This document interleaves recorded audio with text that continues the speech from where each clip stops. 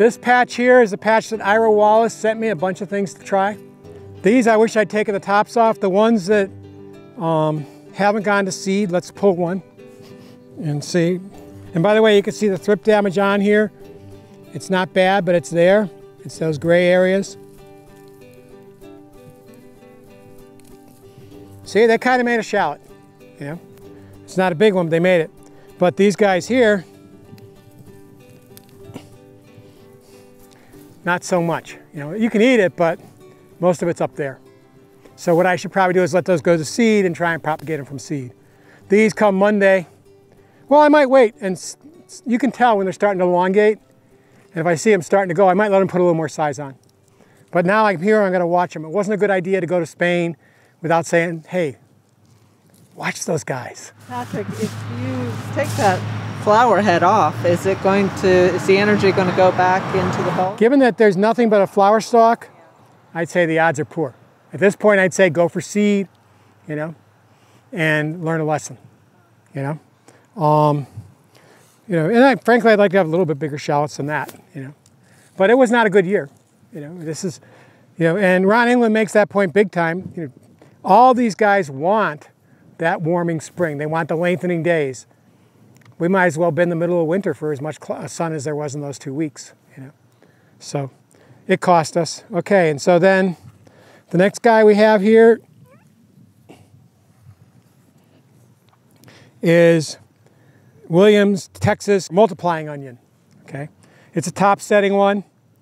So I'll put, you know, I'm not even gonna try uh, harvest this. I'm just gonna plant the, plant the little bulbils and that's it, you know. Um, and I'm not going to pull it up because I don't see, you know, from the size of what's there, there's not much to pull up, I'm sure of it. And so that's okay.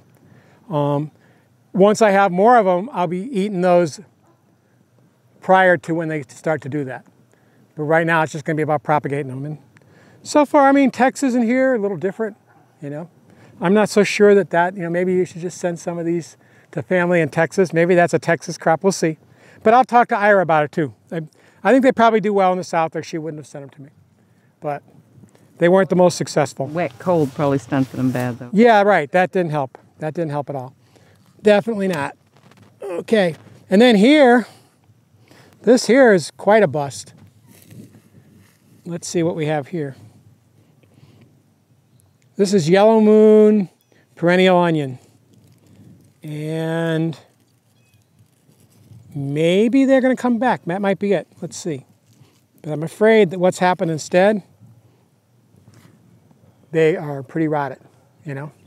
So I think that they were supposed to die back. Maybe I should have taken the tops off them and then they'd come back, you know, in the fall. But these are not, I'm going to leave them in and maybe one or two will make it. But at the moment, I'd say when they can indent like that and stuff gushes out the end, that's called rotten. Yeah, they don't smell too good either. You know, so, um, and that happens. You know, maybe they're not, maybe not all suited to here. Um, I might have helped it a little by taking the tops off, but probably not enough. Um, this guy here, this is a red French red shallot. These are the ones that probably are not suited to us timing wise. But I, it looks like from the size of the plants that if I had picked these before they went to seed, um, and boy, I feel some vole holes down there. I, I stick my finger along this and I could just go and go, you know, there's a tunnel. So these guys had a few things going against them. This guy here hasn't gone to seed. Let's see what we got. Okay, I don't need to badmouth these. They definitely did something. That's a respectable shallot. That's the nicest one so far, actually. You know. So I'll dry these down and replant, you know. There pretty respectable. You know, the ones that went to seed, we'll see if they make anything. You know, if they make seed. Um, and I'll write that off to not telling somebody to pull them out when they try to go to seed. But actually, I'd be happy if I if I got a bunch of these every time. The question is, are they have they amounted to much before they go to seed? That's it. You know, maybe only some. And so maybe I need to be selecting for the ones that don't go to seed. We'll see. All right, so who do we have here? Yeah, this is the perennial leeks here.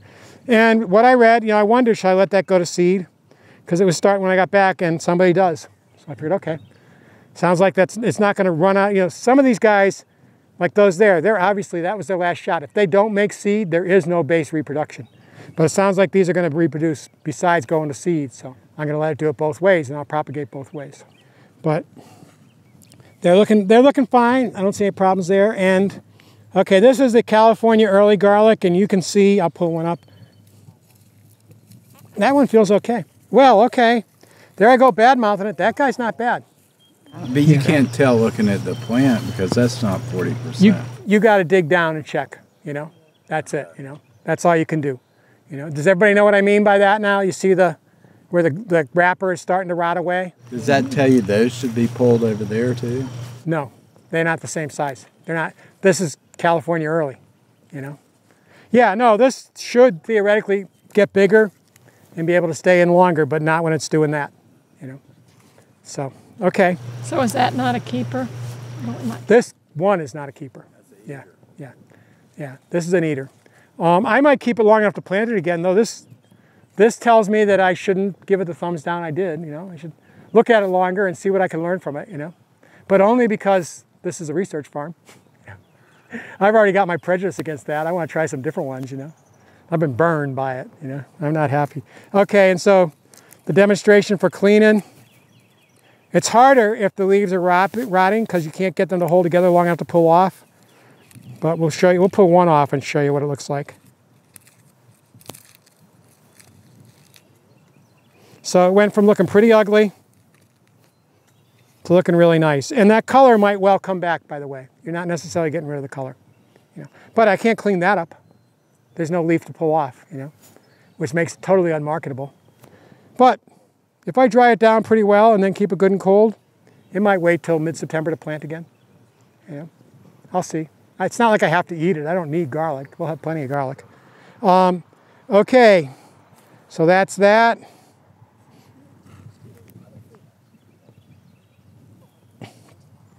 This is Egyptian walking onion. And I don't think we have any where they're doing the second growth. It would have been fun to look at that, you know? Um, But- I thought I I saw. thought I saw one. Okay, there you go. That's it. Yep. Right, that's why it's called a tree onion. From the bulbs, there's another bulb coming up. Yeah, yep. That one there is probably going to do it pretty soon, but it hadn't gotten there yet. Yeah. This is McCullar's white multiplier onion. It opts as this guy here. This guy here is from over there. That's this guy here. So it's multiplying from the top. Let's see if we can find one that hasn't gone to seed to see what it looks like. You can imagine with the bigger ones, if you got them before they went to seed, that'd be pretty nice, you know. Um, and then here is copper shallot. Okay, so I pulled those already. I'll pull another one right now. You can kind of see why they call it copper, you know. That, I'm pretty happy with those. Um, Green Mountain multiplier onion. This guy is just barely going to seed. We should still have some bottom on it. Yeah, there's some propagation can happen there, you know. I do some more growing before I tried to eat on it, but it made quite a nice little bundle, you know. And like I said, they all should be doing better if we hadn't had all the rain that we had. This Nate Kleinman, who did a, a talk this year, he's a wild man plant collector, sitting in my living room at 11 o'clock at night. We're talking, and he's accessing the germplasm lab, ordering more germplasm. So he was in, in Puerto Rico and came back with Puerto Rican shallot slash potato onion. So I don't know if it really is a shallot or not, or a potato onion, but it is from Puerto Rico, so the light's going to be, you know, it's not going to be too long day, that's for sure. And that's this guy here. And that has reproduced. I started these late. It was like mid-March when I started these, you know. And so day length wise, that's as big as they can get this year, but they'll reproduce from this. And next year, if I put them in in the fall, they might be some nice sized onions, you know. Um, it was just about trying to get them to last and make it, and they did. They did.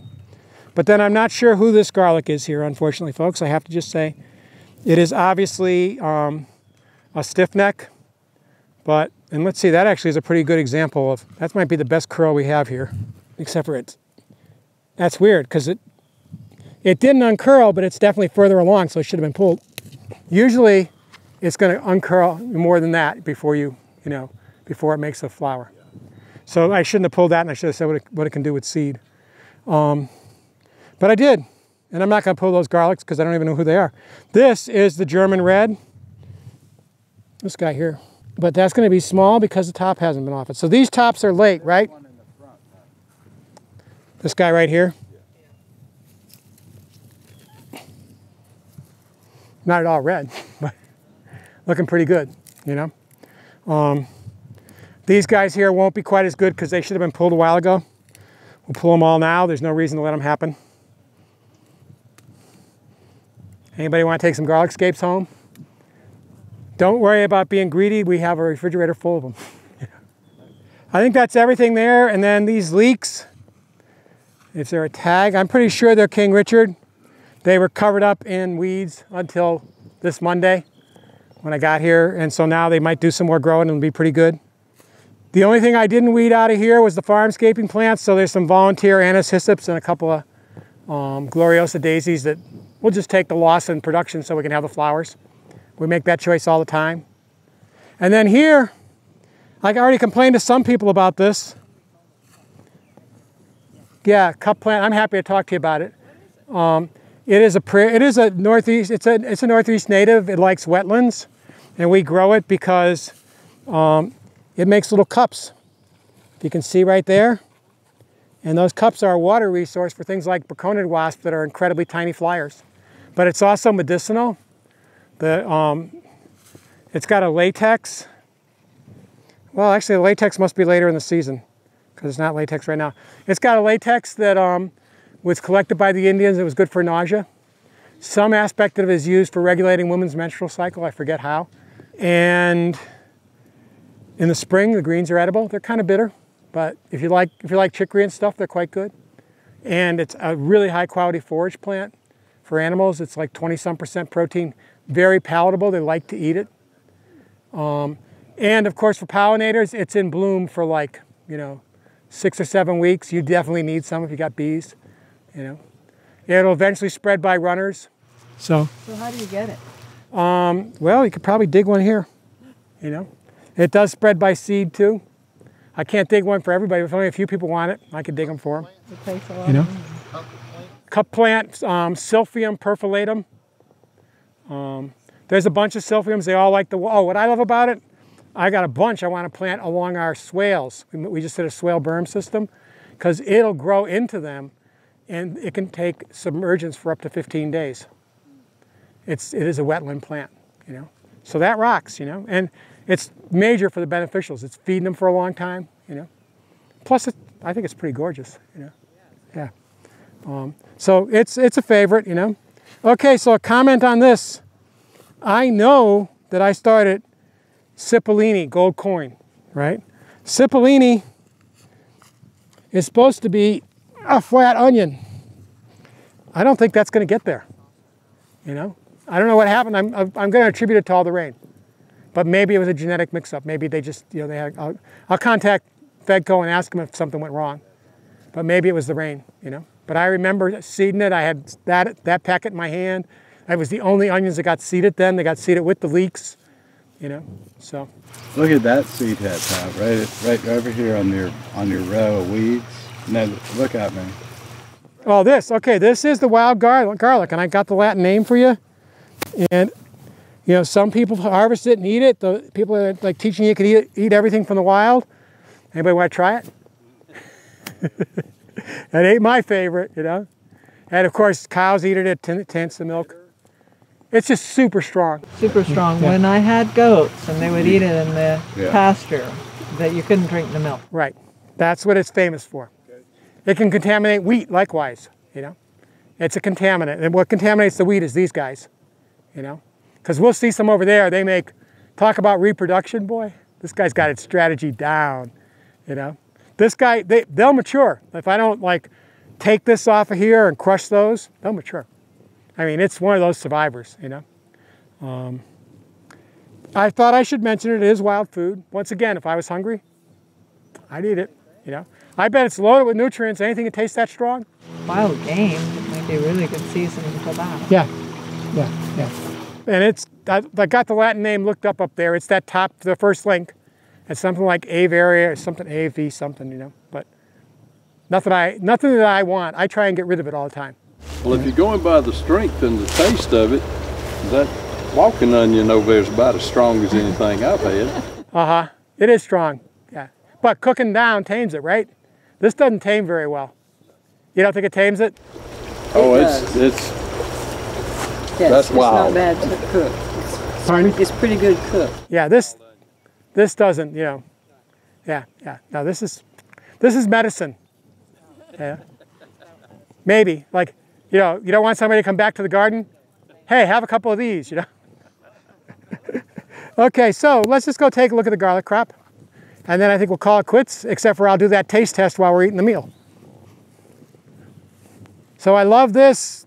Our neighbor used to burn his leaves, and now he delivers them. Can't go wrong with that. We're not polluting the air, and we're getting them, you know.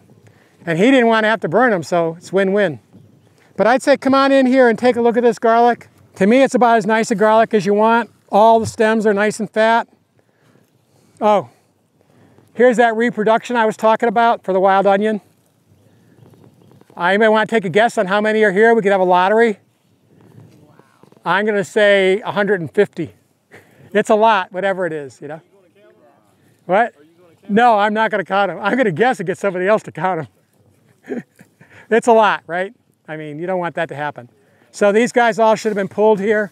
I don't know that we're going to find one. Actually, that is a little bit more curled. I wish there was one that was so late that I could say this is where you should pull it at. But usually, I'll pull one off and kind of show you. Usually you want like one curl. It's going to be broader, of course, because this is kind of short. One curl before you pull it, or you'll be pulling it again. When it first comes up, it's kind of straight. When it gets that, that first curl, then you know it's not going to come back. One source I said or read that you cut it back to the first leaf. You I ever- pull them, it works fine. We if get you done. sell them ten dollars a pound, you cut them back to the first leaf. The thing is, they're still going to be tough at that point. That's when then you grind them up and make an asphalt. Right, who told that's a good idea. You tell the chefs that, yeah. Somebody's got a good idea there. Take that to the shark tank and sell it. Let's see what we got here. Okay, so it wasn't really ready, but it's already looking like that, you know? And it's got probably another two weeks on it. So it's gonna size up pretty darn nice, you know? Um, and it didn't have its top pulled. So we're gonna be okay. Yeah, we're gonna be okay, you know? Um, and the wrapper's fine as long as we don't get more rain, you know? We dodged it this time. I was worried about it, you know? These guys are looking way better just since we weeded them, you know? You go look behind you there and you can see what still has to happen. That's what they all look like. And that was like two, you know, those, that nut sedge when I left was like, okay, I'll get it when I'll come back. It didn't seem that bad. Two weeks of endless rain, bad news, you know?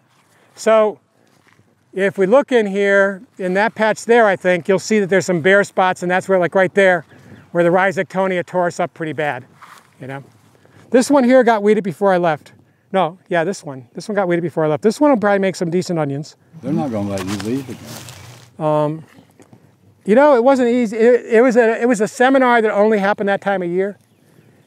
You know, the person who scheduled it wasn't a farmer. No farmer is going to schedule a two-week trip for the middle of May. You know, it's not a good time, but um, it was worth doing. Okay, so I think that's about everything. Unless there's any questions. This is the German Hardy, our New York, German Extra Hardy, New York Hardy, German White, and probably has three or four other names, but it's all the same, you know. And when it's ready, I'll be happy to give you a little bit. And thanks for your um, generosity with the, you know. I'll send you a box with something in it. You can send me a box with something. Right, we'll do it that way. I love that. I mean, that's that's the glory of agriculture, right? So no companion plant. I don't really see many, but Well, actually, a bunch of them have been blooming, and a bunch are coming on now. The um, sunflowers are coming on. Up at the top there, I'll show you some stuff headed out. but you're not interplanting companion. Oh, you know, they, you know, it's unusual that they didn't. They usually do. They must have not been ready when they planted out. Well, what would you companion match up with? Yeah, they weren't ready yet. Bachelor buttons, calendula, cilantro, um, dill, all of those would come out. But frankly, we don't have to do them for the onions. The reason to do them is to have them in the beds next to the other beds. You know, the onions we haven't had that kind of problem. But, and actually it looked like a bunch of those got thrown away because they couldn't plant them. Because I looked in the bin and there were all these seedlings that had been tossed away. And that's too bad because we'll have to start another round now. But we had a flat, we always have a flat in the springtime of bachelor, calendula, dill, cilantro, gloriosa daisy, um, and then esoteric other ones. This year we started a bunch of echinacea. Um, right now I got a bunch of other things in there, some things I'd never tried before. Uh, Maltese cross is one I never tried. Turns out that's going to be good for butterflies, which some people say, well, butterflies are mostly pests. You know, it's like, nah, they're food for the beneficials, you know. I've, I've, uh, it's described in our video. I called Rich up one time. I saw one of the white butterflies, the cabbage uh, worm butterfly, flying sideways with its wings closed. It was being hauled off to the young by a dragonfly, you know. So if I got something feeding butterflies, I don't care, you know. But yeah, we there's a bachelor button that finished. So some of the stuff that was out is, and I know there's a couple bachelor buttons down here that were planted, um, and they're kind of finished up now, you know. But the next succession didn't get planted because nobody was planting anything. I mean, I didn't get to talk to Jeremy, but Meredith emailed me and said, Jeremy says that there's not standing water in the garden, but if he puts a trowel in, the hole fills with water. You know, this is a bowl. Well, you're on a slope. We're on a slope, but it's a bowl. I mean, you know, everybody around us is higher, you know. And indeed, that side of the garden, there's a wet weather spring. That side is too wet to work even still, you know. Probably why they didn't weed that was it was too wet to weed yet, you know. Now that's the gallon sorghum, right? Galinsoga, yeah. Anybody know that weed? That's fun. I love to teach people this one. It's also known as summer devil. Um, the Germans call it German weed. The French call it French weed. I mean, the Germans call it French weed. The French call it German weed. If you know a plant that goes to seed quicker than this, maybe it's cilantro. But otherwise, it goes to seed all the time, which means that there's young baby crops with no flowers all the time Is it usually shorter? until it goes to seed. Yeah, yeah, yeah, yeah, yeah. And that's when to cut it. It doesn't look very good because it's hairy, but it tastes quite good. It's darn good eating. Also called callaloo. No, callaloo is this one here. We are off topic, but that's okay because we're done. So no, no, no. It's I love talking about weeds. I love telling people to eat weeds. Eating weeds is one of my. That's callaloo, also known as amaranth, or red root, or pigweed. But pigweed's a bad name because a lot of things get called pigweed. You know, but they grow this in the Caribbean, and they make a fam- pretty famous stew with seaweed. I mean, with seafood, and it's darn good eating. This is actually probably more noticeably culinary than this, but this is my staple. You know, basically, there's some summer greens that I grow, different odd Asian ones and stuff, and my game plan is to try and eat greens at least twice a day. And so it's lunchtime and I'm in the garden and I haven't got food in the fridge. I grab handfuls of this because it's always right next to me, and then whatever else is between me and the house. And then I cook it, you know, and it's always good. You know, I can have What is this called again? this here, No. that's galinsoga. Unless you're German, it's French weed. Or French, it's German weed. You know. Neither one of them were plain. And you cook it. Yeah, they also in the mountains they call it no business weed. Because it's got no business being in your garden. Tell it to that. It doesn't think that's true, you know. I know some other people call it summer devil or white weed. It's got white whitish flowers. It's got a lot of names, you know. But galinsoga is the official name. Oh, my favorite thing, I don't know if it's still there, but it used to be that if you went to the homepage of the Colombian Embassy, there's a recipe using this on the homepage. There's a national stew that this is a key ingredient. And I've talked to Colombians that were tickled to know that we had guasca growing in the garden. Although they know that it, they probably pull it all the time. You know, because they were city people were getting it dried. And like it's a key ingredient in this stew that involves a 260 day potato, which is kind of mealy, and hard corn and tomatoes and chicken.